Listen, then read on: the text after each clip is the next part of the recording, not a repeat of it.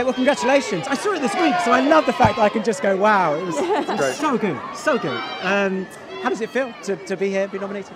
Well, I feel, and that's why I'm so so thankful to have Jonathan with me because um, being the the only one that's kind of been picked out of this extraordinary film, we've had, had such an amazing company and uh, crew that I feel like I'm representing all of us, and it was such a partnership.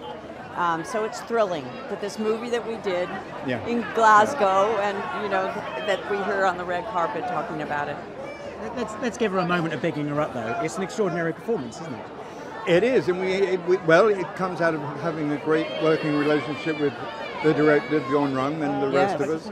But uh, no, we had a great time working together. and It's a, it was a great partnership, and Yeah. uh, and Bjorn Bjorn did know how to use the close-up, and um, Ulf Brantås, our, our DP.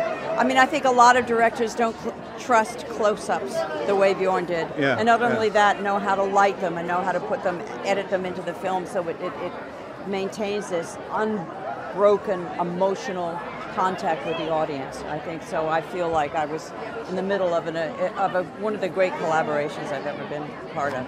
You're right, your looks that you give. It's great looking into your eyes now. It's brilliant. like just thinking back to the film. And it's so many years people have talked about nominations and you know, how do you feel about the fun you're having on this whole awards season circuit?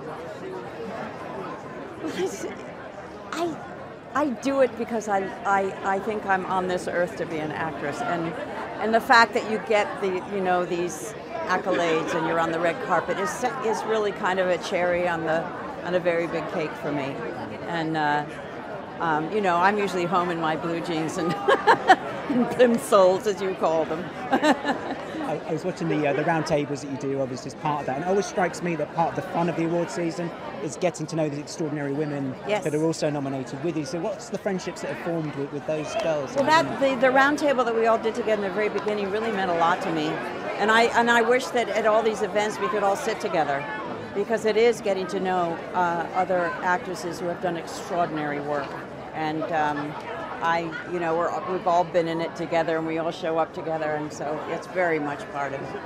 And, and how are you both in terms of doing the doing the party afterwards? Are you both party animals? Are you going to be in there dancing? Oh, totally. oh yes, We'll we'll be here to the, to the crack of dawn. yeah, I'm sure. Yeah, Last one standing. That's Yeah. The last Thank one. yeah. So nice to see you both, and congratulations thank again. you so thank you much. so Thank much. you. Ladies and gentlemen, you're watching Hey You Guys! Hey, you guys, huh? Hey, you guys. Is that from the Goonies? It is indeed, yeah. Nice. Hey, you guys.